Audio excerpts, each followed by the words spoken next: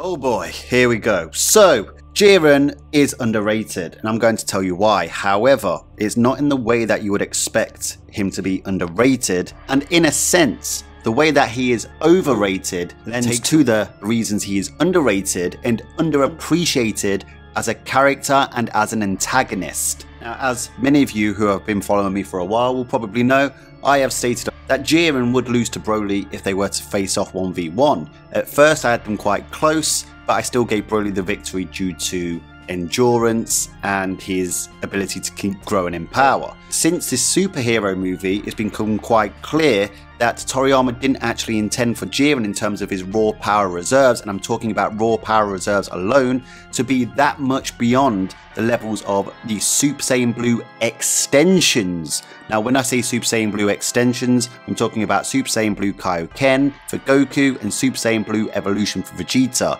Based on the quotes from Vegeta in the superhero movie, written by Toriyama himself, in the author's view, Jiren wasn't that much stronger than those two versions of those two characters in the Dragon Ball Super Tournament of Power. And of course, I've been on record with a recent video that concerns Jiren vs Broly, saying that the gap that I initially thought they had in terms of raw power between them is actually a lot wider than even I thought. So hang on RevoluShane, are you shitting on Jiren again? That's the accusation I often hear about me when I talk earnestly and honestly about Jiren and my interpretation of Jiren's character from the series. But actually, I'm not shitting on Jiren. This is wrong. Often I've bantered the Jirenettes, but it really is just a reaction to the absolute torrent of criticism I got when I first initially said somebody like Broly could beat Jiren and went against the common narrative at the time that the Tournament of Power levels were stronger than the Broly movie power levels, and that Jiren was stronger than all Gods Destructions, including Beerus.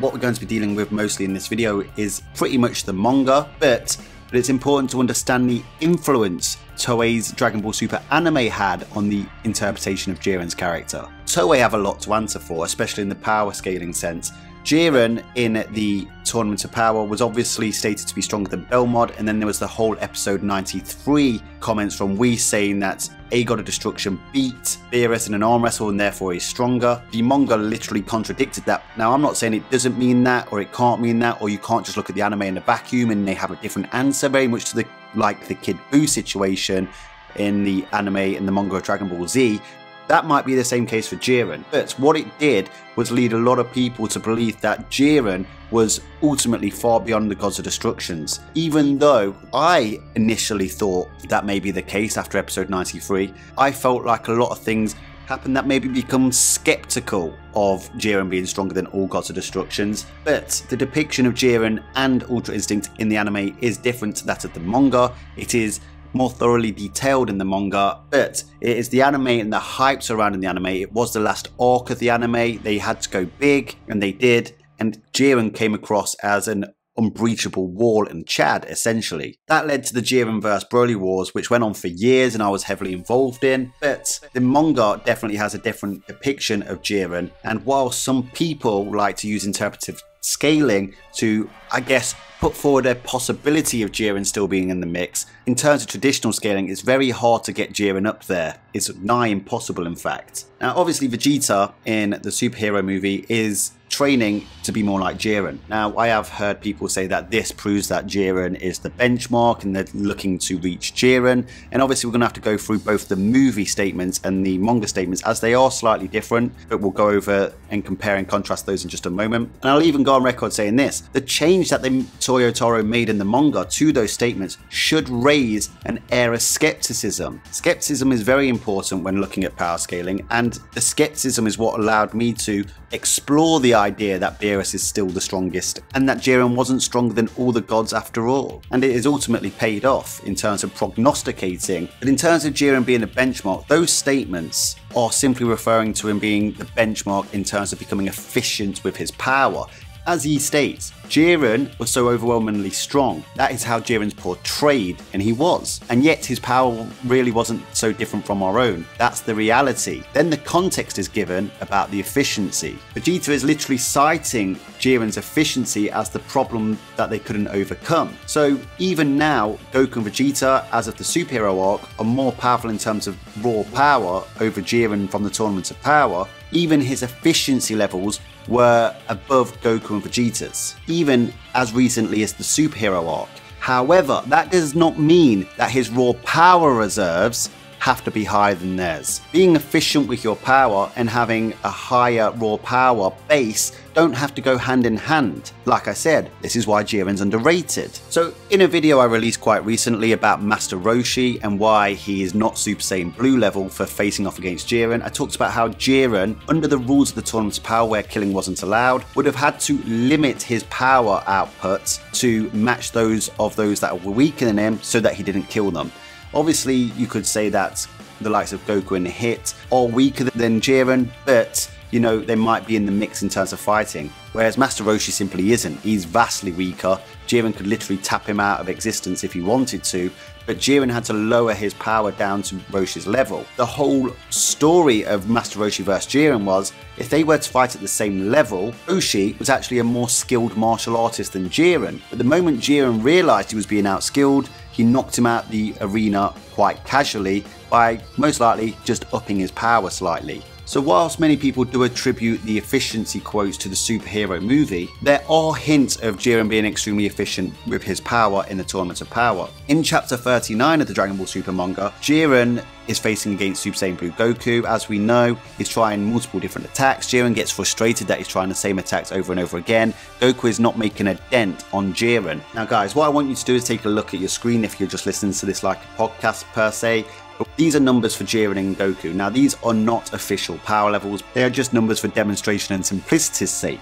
If Jiren had a power level of 1 million and Goku had a power of 800,000, but Jiren could handle reliably 99% of his power, whereas Goku can only reliably handle 85% of his power. And when I say power, I'm talking about their raw power reserves then it's unlikely Goku is really going to be hitting Jiren at his full power anyway, even though his full power is weaker than Jiren's full power, and the gap between them as time passes on, in terms of a battle of attrition, Goku is going to reduce his power rather quickly, whereas Jiren's power is not going to budge at all. So it's going to seem like his power would be endless. Because so um, I offer this two powerlifters, powerlifter A and powerlifter B. Both are squatting 225 pounds. However, powerlifter A is only working about 80% intensity compared to his max power and has perfect technique. However, powerlifter B is lifting at 100% intensity and his technique and his form isn't quite as good. What's going to happen over the long run between these two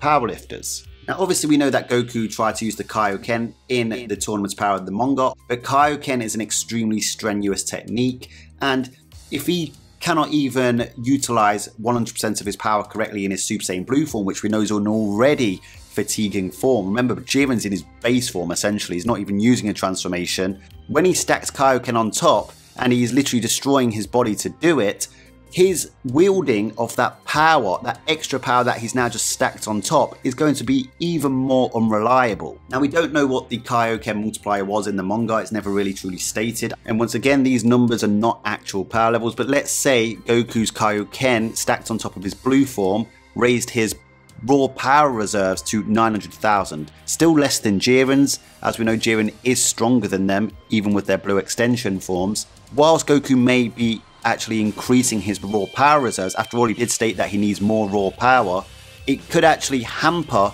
how proficient he is with that power and may actually lower his efficiency due to the damage it's doing to his body. As Jiren states about Goku using Kaioken, and Goku does land on Jiren using the Kaioken, Jiren states about Goku's Kaioken, power gained by destroying your body can't necessarily be wielded properly. You made the very same mistake as that Saiyan named Kale earlier. Remember, Kale got her legendary Super Saiyan form or a Super Saiyan full power, whatever you want to call it. But whilst they are increasing their power, they cannot wield their full power properly. And don't worry, guys, I'll get to Broly in just a moment. This is why the manga uses the whole Roshi example as a means for Goku to overcome that discrepancy in terms of his efficiency when tackling Jiren. Roshi starts talking about using martial arts ability, and as we see that when Jiren has to lower his power down to Roshi's level in order to not kill him as per the tournament's power rules, Roshi outskills him and, and that is the whole lesson that Roshi is trying to teach Goku. This is actually good development for Goku's character, believe it or not. And it's through these means that Goku is able to achieve Ultra Instinct. Now, this transformation, Ultra Instinct, does it lead to a higher level of power reserves? I do believe so.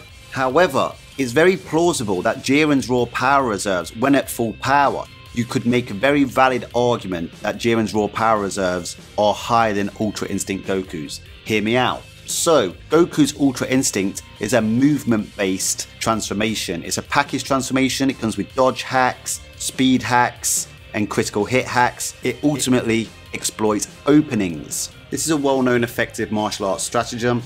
It's often the hits that you don't expect or see coming that do the most damage. Goku is essentially maximizing damage by using Ultra Instinct, and even then, he's still not doing exactly what Frieza did to him and Vegeta in the Granola arc by one-shotting them. This is closer, so the attacks are on par with Jiren's power, but you could still argue that for Jiren to eventually start countering this power, that he would have had to have a higher power level because he doesn't have the hacks or abilities that come along with Ultra Instincts. He's having to rely on good old fashioned sheer raw power to counter Ultra Instinct.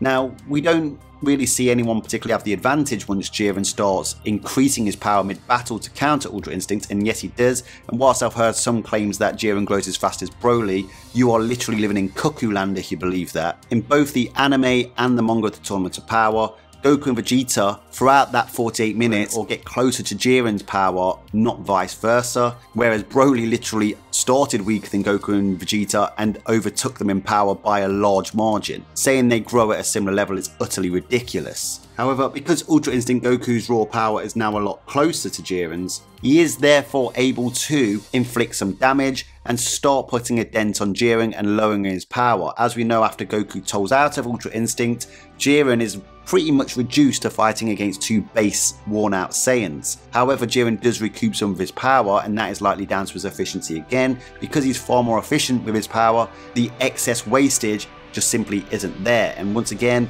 he's naturally in base as well. So ultimately Jiren can wield his full power pretty much expertly and without little wastage and as the battle wears on the gap between him and his opponents is only going to grow even further. Ultra Instinct was literally a technique that basically countered Jiren's efficiency. That doesn't mean having efficiency and Ultra Instinct in tandem can't be even more beneficial, or even Ultra Ego and efficiency can't be more beneficial, and that is why Vegeta is attempting to learn it. Here's an analogy Mike Tyson is one of the most feared boxers ever who has an extraordinary punch. He can likely hit harder than, say, Muhammad Ali, another great, possibly the greatest in the boxing world. However, whilst Mike Tyson has the hardest punch, and if they had a simple punch off to see who would win, Mike Tyson would likely win. However, Muhammad Ali has a vastly better jab. But imagine if you gave Muhammad Ali's jab to Mike Tyson and he had both, and he could use both. He would be nigh unstoppable. And just to address the manga adaptations version of events where they talk about the efficiency and the power, whilst most people just deem it to be a Toyotaroism, he does name multiple characters. And obviously Broly's included in that, Moro's included in that, Frieza's included in that, Gas is included in that. Now, when you analyze it, you would say, well, Broly, he doesn't look like he's very efficient, and I would tend to agree. Even on the page prior to that, he is literally raging out of control and losing control of his power, so it does seem a little bit absurd. Moro, when he became Planet Moro, lost his mind and didn't seem to have any control over his power. Gas, you could argue, would have got efficiency from the Wish, or greater efficiency than Goku and Vegeta from the Wish, as it seems to be reflective of that universe only. Frieza may have learnt about Jiren's efficiency in the Tournament of Power and implemented it into his training. But with Broly, considering how much he raged out, and considering Moro never really trained, it's hard to argue that they would have the same level of efficiency that Jiren did and that Vegeta's trying to aspire to. And the reason this was brought up in the superhero movie is because, as we know, Cell Max, according to Toriyama, is even stronger than Broly if he was able to wield his full power correctly. Obviously, he was born before he was supposed to be born, he had no mind, he had no control over his power, and that's why he has no efficiency over his power, and it's why he kept getting popped off on by far weaker characters because he kept getting caught off guard, he didn't know how to utilize his power properly. I would offer that it's similar to a sports computer game where whichever sport it is, the more power you go in your shots, the more wild it becomes and the harder it is to land. However, Jiren, unlike those characters, has perfect implementation and application over his full power. Imagine if current Ultra Instinct Goku or current Ultra Ego Vegeta had full efficiency over their power. So I would like to offer that Jiren is underrated. Simply, whilst he may not have the raw power bank reserves of the current arc levels, he does have a higher raw power level than Ultra Instinct because he would have needed that to counteract it. He does have a high level of efficiency than even current arc Goku and Vegeta levels, and he is essentially in a base form. He's all his natural power and he suffers no strain of having to transform. And if I was to argue for Jiren, if you could argue a slow incremental power creep for Goku and Vegeta's base forms throughout Super, that could potentially put Jiren in the mix of winning one-on-one fights. Jiren is the perfect representation of a character that's mastered an attribute and a skill and Vegeta is looking to attach that to his other skills in order to become the best in the universe because it's not just about your raw power reserves anymore, you need to be able to wield it properly. And as I mentioned in the video the other day, Whis tried to tell Vegeta this and even cited it as one of Vegeta's weaknesses that he was not efficient with his power and he burns out quicker because of it. Jiren does not suffer that. Anyway guys, that's all for this video. Smash a like on the video, not in terms of raw power, but his abilities. Let me know down in the comment section your thoughts. Subscribe if you haven't subscribed. Until next time, Ad Astra.